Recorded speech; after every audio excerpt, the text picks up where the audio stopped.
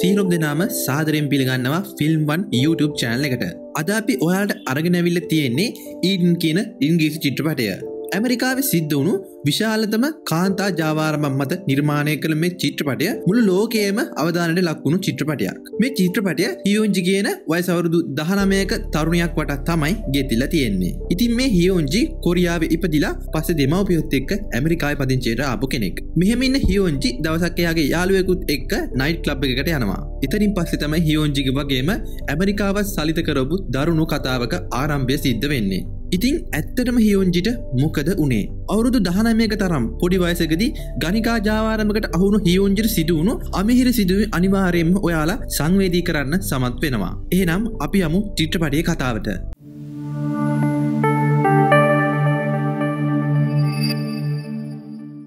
Eden චිත්‍රපටි ආරම්භේදීම අපිට බලාගන්න පුළුවන් හියෝන්ජිව ගැට ගහලා කාර්යකක ඩිකිගට දාලා තියෙන හැටි. ඒ වගේම මේ කාර්යකින් එලිය තව පිරිමි කෙනෙක්කින්නවත් බලාගන්න පුළුවන්. ඉතින් මේ දකින කාරණයක අපිට වැඩිය හිතන්න දෙයක් නැහැ ඕනෑම කෙනෙකුට තේරෙනවා මෙතන හියෝන්ජිව පැහැර ගැනීමකට ලක් කරලා තමයි තියෙන්නේ කියලා. ඊට පස්සේ තමයි අපිට පෙන්වන්නේ දවසකට කලින් ඇත්තටම හියෝන්ජිට මොකද උනේ කියලා.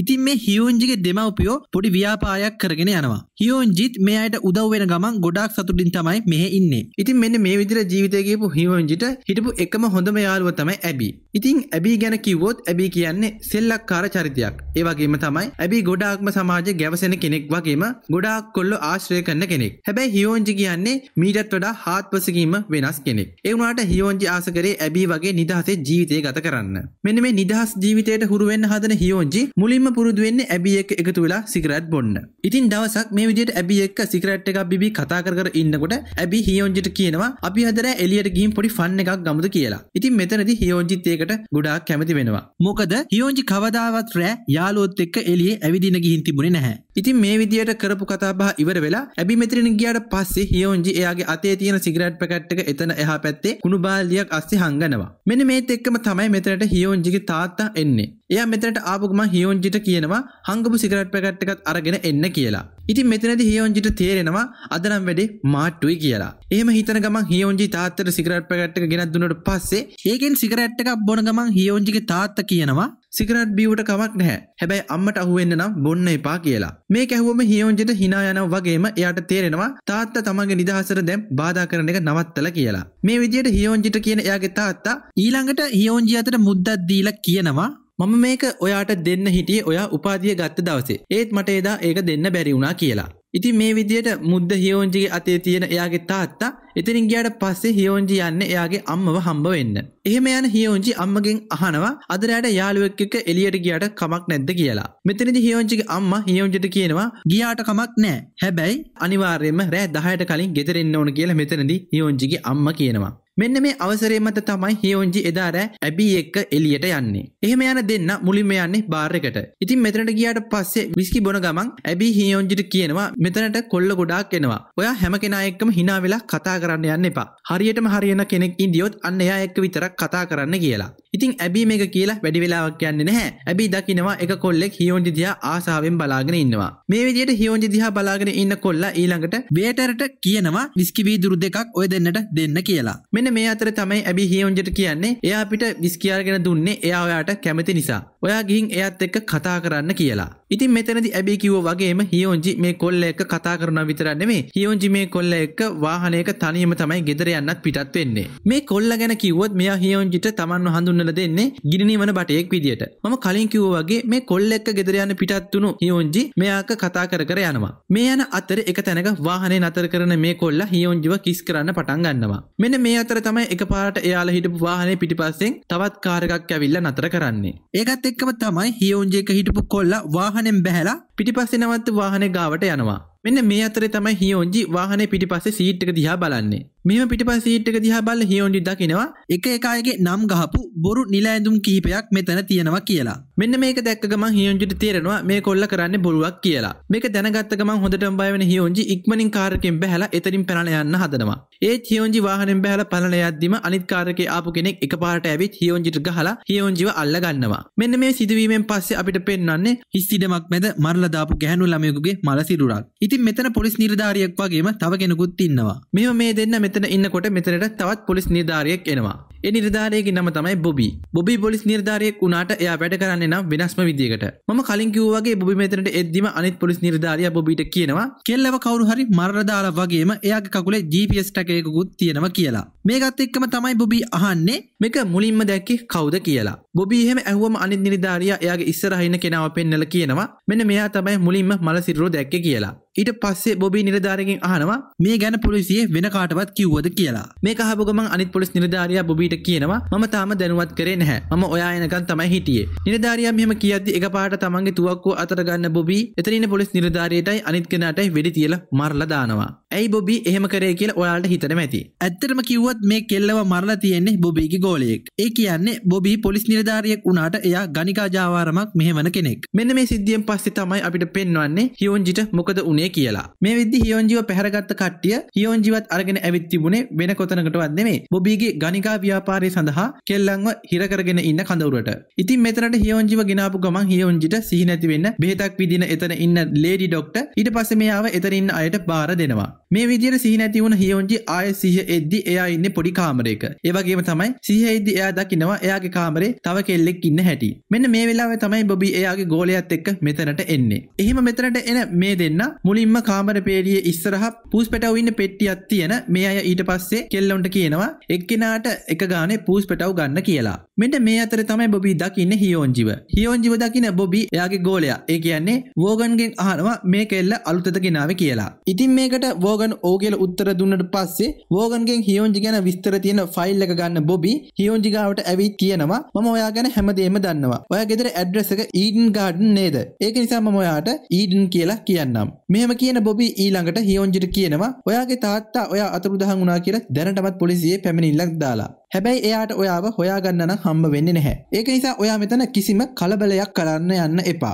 ඒවගේම තමයි මෙතනින් පැනල යන්නත් හදන්න එපා. එහෙම කරත් ඔයාගේ පවුලයටත් ඒ වෙනුවෙන් වන්දිගවන්න වේ කියලා. ඒ වගේම තමයි මෙතනදි බොබී තව දෙයක් හියෝන්ජිට කියනවා. ඒ තමයි මෙතන නීති තියෙනවා. ඒකෙන් පළවෙනි එක තමුන් මෙතන ඉන්නකම් මෙතන පිරිසිදුවට ඉන්න ඕන. ඒක නිසා සේවාදායකයෙක් එක්ක ඉඳල එන හැම වෙලාවකම නාලා පිරිසිදුව ඉන්න ඕන. දෙවනි නීතිය හැමදාම අනිවාරයෙන් වෛද්‍ය පරීක්ෂණයක් කරගන්න ඕන කියලා. ඉතින් මේ දේවල් දෙක පැහැදිලි කරලා බුබි මෙතනින් ගියට පස්සේ හියොන්ජිට තේරෙනවා තමන් දැන් ගනිකා ජාවාරමකට අහු වෙලා ඉන්න කියලා. ඉතින් මේ විදියට පළවෙනි දවසේ නිකරුණේ ගත කරත් ඊට පහුවෙන්ද දවසම හියෝන්ජිවයි එයාගේ කාමරේ ඉන්න අනිත් කෙල්ලව හොයාගෙන එනවා වෝගන්. එහෙම එන වෝගන් මේ දෙන්නට ඇඳුමත් දීලා කියනවා වැඩක් තියෙනවා කරන්න. ඉක්මනට ඇඳුම් ඇඳගෙන එන්න කියලා. ඉතින් වෝගන් කිව්ව විදියට මේ දෙන්න ඇඳුම් ඇඳගෙන ආවට පස්සේ වෝගන් මේ අයවත් අරගෙන කඳවුරෙන් එළියට එනවා. ඉතින් මේ විදියට හියෝන්ජිවයි අනිත් කෙල්ලව අරගෙන එන්නේ නිල් චිත්‍රපටි රූගත කරන ස්ටූඩියෝ එකකට. ඉතින් එතනට යන මේ දෙන්නට එයාලා කියන දේවල් කරන්න සිද්ධ වෙනවා. මෙතනදි හියෝන්ජිගේ වගේම අනිත් කෙල්ලගේ අත්වලට මාංචුදාන මේ අය මේ දෙන්නට පොඩි කසයකින් පහර දෙනවා. ඉතින් මේ හැම දෙයක්ම වීඩියෝ ගත කරන්නේ නිල් චිත්‍රපට නිර්මාණය කරන්න. ඉතින් පළවෙනි දවසේ මේ වගේ දෙයකට මුහුණ දුන්නට පස්සේ හියෝන්ජි ගොඩාක් අඬන්න ගන්නවා. හැබැයි එහෙම කියලා ඊළඟ දවසේ විවේකයෙන් ඉන්න නම් හියෝන්ජිට අවස්ථාවක් ලැබෙන්නේ නැහැ. මොකද වෝගන් ඊළඟ දවසේ හියෝන්ජිව අරගෙන යනවා තව සේවාදායකයෙකුගේ ගෙදරට. ඉතින් මේ විදියට කස්ටමර්ස්ලගේ ගෙදරට හියෝන්ජිව අරගෙන යන වෝගන් කෙල්ලව කස්ටමර්ස්ලට බාර දීලා කාමරෙන් එළියට වෙලා බලාගෙන ඉන්නවා. එහෙම ඉන්න අතරේ වෝගන්ට ඇහෙනවා කාමරෙන් එකපාරට කෑ ගහන සද්දයක්. මේ සද්දේ ඇහුණ ගමන් කලබලෙන් කාමරේ දොර අරගෙන ඇතුළට යන වෝගන් දකිනවා ලේ පෙරාගෙන බිම් වැටලා ඉන්න කස්ටමර් කෑ ගහන හැටි. මේක දැක්ක ගමන් වෝගන් ඊළඟට බලන්නේ හියෝන්ජි කොහෙද කියලා. වෙලා තියෙන දේ දැක්කම වෝගන්ට තේරෙනවා හියෝන්ජි පැනලා ගිහින් තමයි කියලා. මෙන්න මේ නිසාම ඉක්මනට ගෙදරින් එළියට බහින වෝගන් කලබලෙන් වටපිටා බලනවා. එතකොට තමයි වෝගන් දකින්නේ මෙතනින් පැනලා දුවන හියෝන්ජිව. ඉතින් මේක දැක්ක ගමන් ක්‍රියාත්මක වෙන වෝගන් ඉක්මනට හියෝන්ජි පස්සෙන් ගිහින් එයාව අල්ල ගන්නවා. මේ විදියට හියෝන්ජිව අල්ලගත්තට පස්සේ හියෝන්ජිවත් අරගෙන ආපහු කඳවුරට යන වෝගන් ඒ ගිහින් හියෝන්ජිව අයිස් කැට දාපු බාත් එකක ගැට ගහලා තියෙනවා. එහෙම හියෝන්ජිව ගැට ගහන වෝගන් එතන ඉන්න මුරකාරයට කියනවා මේක එළවෙනකන් ජීවත් වුණොත් ආපහු කාමරයට යවන්න. මැරුණොත් මිනිහ වලලලා දාන්න කියලා. ඉතින් මේ විදියට මුරකාරයට උපදෙස් දීපු වෝගන් ඒ කාමරෙන් එළියට එනකොටම බොබි එනවා වෝගන්ව හම්බ වෙන්න. එහෙම එන බොබි වෝගන්ට කියනවා මට පේන විදියට තමුසු දැන් මද්ද්‍රව්‍ය පාවිච්චි කරන වැඩි. ඒක නිසා තමයි මේ විදියට තමුසෙන් බේරිලා කෙල්ලෝ පැනලා යන්නේ කියලා. ඒ වගේම තමයි මෙතනදී බොබි කියනවා කලින් වතාව කෙල්ලෙක් පැනලා ගිය වෙලාවේ GPS එකක් තිබිලත් තමුසෙට ඒකව හොයාගන්න බැරි වුණා. අන්තිමට ඒකි මැරුණා. ඒ මරණ වහන්න මට පොලිසිය කෙනෙකුත් මරන්න උනා කියලා. ඉතින් මෙහෙම කියන බොබි මෙතන යන්නේ වෝගන්ට ආය මෙහෙම දෙයක් වුණොත් තමුන්ට පණ පිටින් ඉන්න වෙන්න හැ කියලා අනතුරු අඟවන ගමන් තමයි. ඉතින් මේ විදියට සිදුවීම් සිද්ධ වෙද්දි හියෝන්ජි එදාරෑ ගත කරන්නේ අයිස් කැට පිරුණු බාත් එකක. හැබැයි පහුවෙන්ද උදේ වෙනකන් තමන්ගේ ජීවිතය බේරිලා තියෙන තරම් හියෝන්ජි වාසනාවන්ත වුණා. ඉතින් කොහොම හරි පහුවෙන්ද එයාගේ කාමරේ ඉන්න අනිත් කෙල්ල ක්‍රිස්ටල් එක්ක හියෝන්ජිත් විවේකාගාරයට එනවා. මෙන්න මෙතනදී එතන පූසෙක්ව අතේ තියාගෙන ඉන්න කෙල්ලෙක්ව පෙන්නලා හියෝන්ජි ක්‍රිස්ටල්ගෙන් අහනවා අර කෙල්ල කවුද? මම කවදාවත් එයාව එළියට අරගෙන යනවා දැකලා නෑනේ කියලා. අන්න එතකොට තමයි ක්‍රිස්ටල් කියන්නේ එයා රුසියන් කෙල්ලෙක්. එයා තමයි මෙතන ඉන්න අයගෙන් බොබීට හිතවත්ම කෙනා. ඒක නිසා එයාව කවදාවත් කාටවත් විකුණන්නේ නෑ කියලා. ඒ වගේම තමයි එයා මෙතන වෙන හැමදේම බොබීට කියනවා කියලා. ක්‍රිස්ටල් මෙහෙම කියද්දි හියෝන්ජි හොඳට මේ රුසියන් කෙල්ල දිහා බලනවා. එහෙම බලද්දි තමයි හියෝන්ජි දකින්නේ තමන්ගේ අතේ තිබිලා වෝගන් ගත්තු මුද්ද මේ රුසියන් කෙල්ල දාගෙන ඉන්නවා කියලා. මේ විදියට කතා කරන මේ දෙන්න ගාවට එන ආරක්ෂකයෙක් ක්‍රිස්ටල්ව එතනින් අරගෙන යනවා. ඉතින් මේ සිද්ධිය උනාට පස්සේ හියෝන්ජිවත් මෙතනින් අරගෙන යන වෝගන් හියෝන්ජි හොඳට ලෑස්ති කරලා අරගෙන යන්නේ නයිට් ක්ලබ් එකකට. ඉතින් එතනදිත් හියෝන්ජිට වෙන්නේ එක එක පිරිමින්ගේ ආසාවල් ඉෂ්ට කරන්න. මෙන්න මේ ගමන ගිහින් එනකොට තමයි හියෝන්ජි තවත් ප්ලෑන් එකක් හදාගන්නේ. එයාගේ ප්ලෑන් එක තමයි එයාගේ මුද්ද අර රුසියන් කෙල්ලගෙන් අරගන්න එක. ඉතින් මේක කරන්න ප්ලෑන් කරන හියෝන්ජි මුලින්ම කරන්නේ වාහනේ එද්දි එයා දාගෙන එන හයි හීල්ස් දෙකේ හීල්ස් එක කඩලා ඒක තමන්ගේ ඇඳුමේ අස්සේ හංග ගන්න එක. එහෙම හීල්ස් එක හංගගෙන එන හියෝන්ජි රෑ කවුරුත් නිදා ගන්නකන් ඉඳලා තමන්ගේ කාමරේ නිදා ගන්න රුසියන් කෙල්ලගේ ඇඟට පැනලා එයාගේ බෙල්ලට හිල්ස් එක තියලා එයාගේ බෙල්ල කපන්න හදනවා. ඉතින් මෙතනදි මෙහෙම කරන හියෝන්ජි රුසියන් කෙල්ලට තර්ජනය කරනවා එයාගේ මුද්ද ආයම දෙන්න කියලා. ඉතින් මේ දෙන්නගේ රණ්ඩුව සැරටම යද්දි මෙතනට එන ගාඩ්ලා මේ රණ්ඩුව බේරලා හියෝන්ජිව අරගෙන ගිහින් බාර දෙනවා ෆෝගන්ට. මෙතනදි ෆෝගන් හියෝන්ජිට දඬුවම් කරන්න හදනකොටම හියෝන්ජිට කල්පනා වෙනවා හොඳ අදහසක්. මේ අදහස නිසා දවසක Tamanට මෙතනින් බේරෙන්න උනත් පුළුවන් කියලා හිතන හියෝන්ජි ෆෝගන්ට කියනවා ඔයාට ඕන නම් මාව මරන්න. හැබැයි ඊට කලින් මට කියන්න දෙයක් තියෙනවා. ඉතින් මෙතනදි ෆෝගන් අහනවා මොකද්ද කියන්න තියෙන්නේ කියලා. එතකොට තමයි හියෝන්ජි කියන්නේ මෙතන වැඩ කරන අනිත් අය ඔයාට සලකන්නේ නැහැ. එයාලා ලොක්ක විදියට සලකන්නේ බොබීව. හරියට බැලුවොත් ඔයා මෙතන ඉන්න නිකමෙක් විදිර තමයි එයාලා ඔයා දිහා බලන්න කියලා. එහෙම කියන හියෝන්ජි වෝගන්ට තව දෙයක් කියනවා. ඒ තමයි රුසියන් කෙල්ල වැඩ කරන්නෙත් ඔයා කියන විදියට නෙවෙයි නේද? හරියට බැලුවොත් එයා ඉන්නෙත් ඔයාට උඩින් කියලා.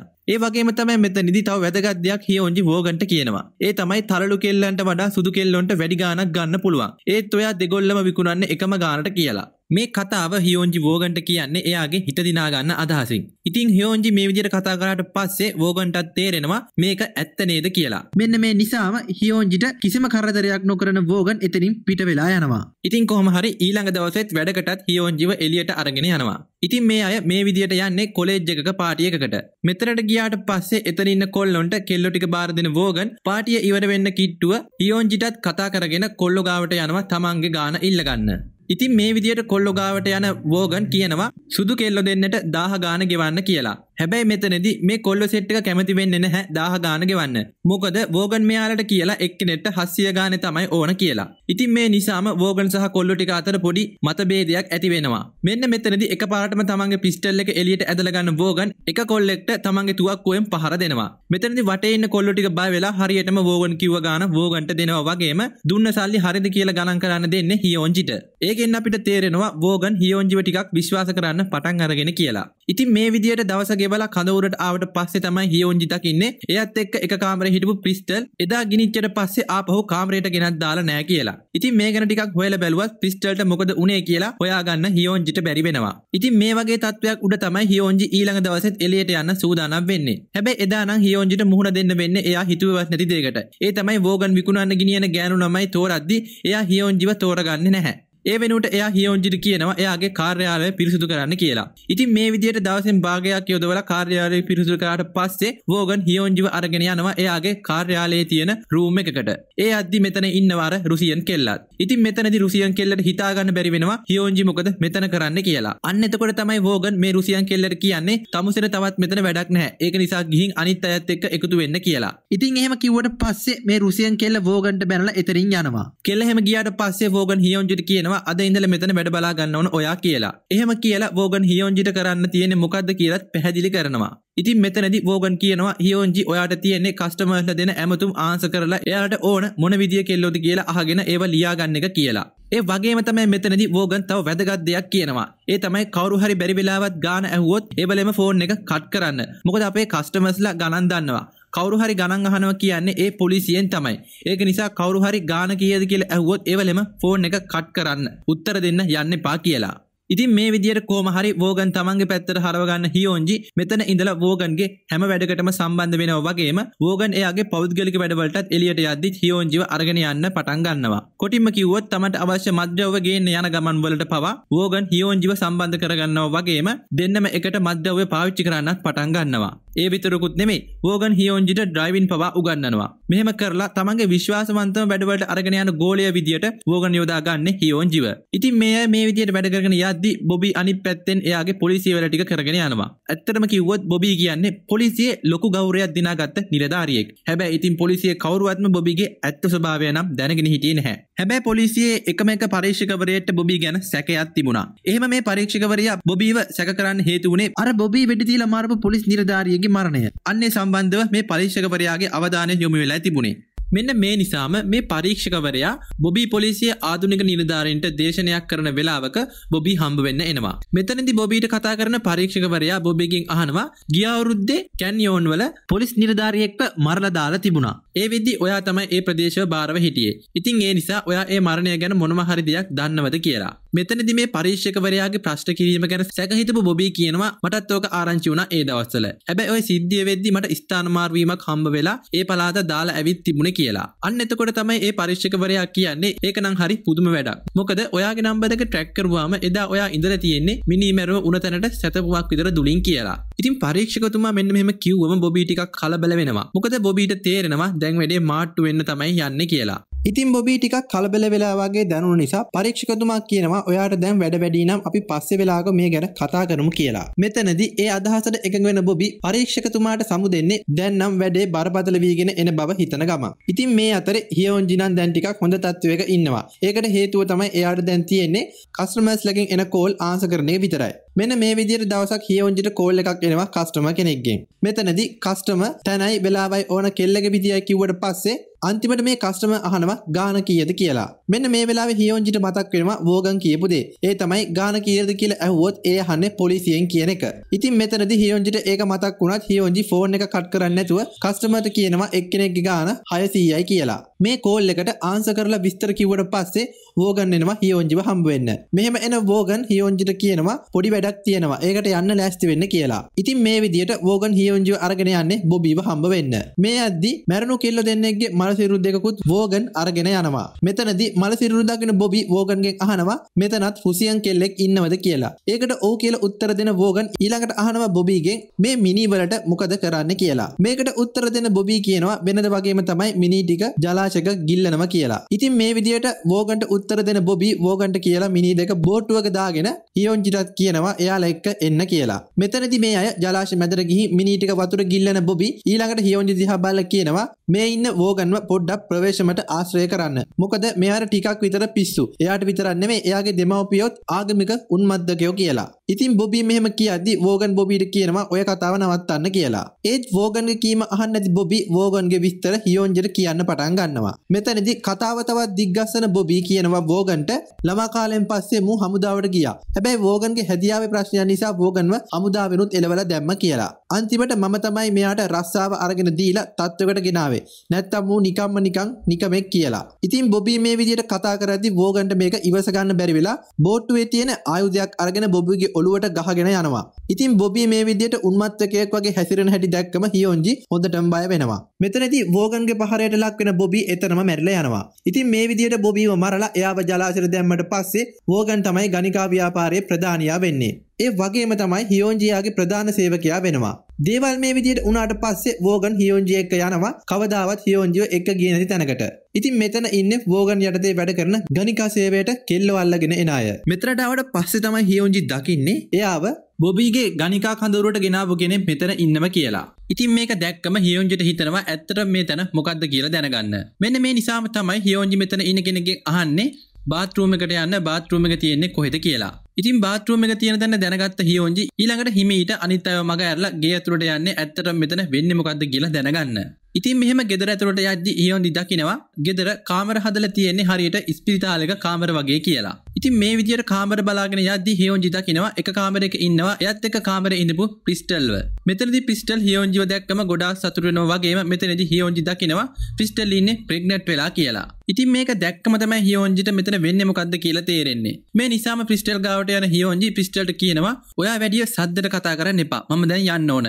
ඒත් මතක තියාගන්න. මම යාව මෙතනින් අනිවාර්යයෙන්ම බේරගන්න එනවා කියලා. මෙහෙම ක්‍රිස්ටල්ට කියන හියෝන්ජි මෙතනින් පිට වෙලා ආපහු උඩ තට්ටුවට එනවා. මෙහෙම ආවට පස්සේ වෝගන් හියෝන්ජි එක්ක මෙතනින් පිට වෙලා එනවා. මේන අතරතුරේ තමයි හියෝන්ජි වෝගෙන්ගෙන් අහන්නේ ඔයාලා අලුත උපදින ළමයි විකුණන එකත් කරනව නේද කියලා. ඉතින් මේක අහපුවන් වෝගන් හියෝන්ජිගෙන් අහනවා ඔයා මොනවද ගියපු තැනදී දැක්කේ කියලා. එතකොට තමයි හියෝන්ජි කියන්නේ ඒ ගෙදර හරියට ස්පිරිතාලයක් වගේ. තැනේ හැටි දැක්කම මට සිද්ධ වෙන දේ හිතා ගන්න පුළුවන් කියලා. හියෝන්ජි මෙහෙම කියද්දිම එක පාරටම වාහනේ නතර කරන්න කියන වෝගන් හියෝන්ජිට වාහනෙන් බහින්න කියලා එයත් වාහනෙන් බැහැලා ඊට පස්සේ වාහනේ පිටිපස්ස ගැට ගහලා තිබුණු ගෑනු ළමයෙක්ව එළියට අරගෙන ඇවිත් දන ගස්සලා හියෝන්ජි අතර තුවක්කුවක් දික් කළා කියනවා මට තමුසිව දැන් ටිකක් සැකයි. මට හිතෙනවා තමුසි මට ද්‍රෝහි වේ කියලා. ඒක නිසා මේ කෙල්ලගේ ඔළුවට වෙඩි තියලා මට තියෙන පක්ෂපාතී බව ඔප්පු කරන්න කියලා. ඉතින් මෙතනදි හියෝන්ජි ඕගන් දීපු තුවක්කුව අතට අරගෙන කෙල්ලගේ ඔළුවට තිබ්බත් හියෝන්ජිට ඒ කෙල්ලට වෙඩි තියන්න තරම් හයියක් නැහැ. හැබැයි ඒක නොකෙරුවොත් Tamanටත් බේරුමක් නැති බව හියෝන්ජිට වැටහි යනවා. ඒක නිසාම හියෝන්ජි මේ කෙල්ලට වෙඩි තියලා මරන්න කොකා ගස්සන්න හදනවත් එක්කම